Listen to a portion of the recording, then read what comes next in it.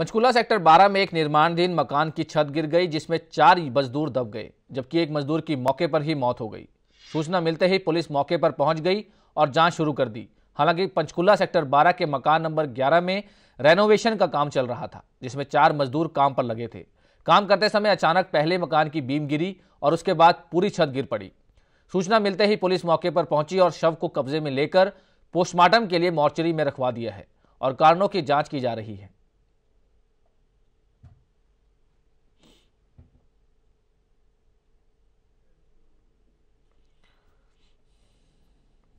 खबरों की दुनिया में आइए। हमारे साथ कहीं भी और कभी भी जुड़िए। हम मिलेंगे फेसबुक पर। हम दिखेंगे यूट्यूब पर। हमें फॉलो कीजिए ट्विटर पर।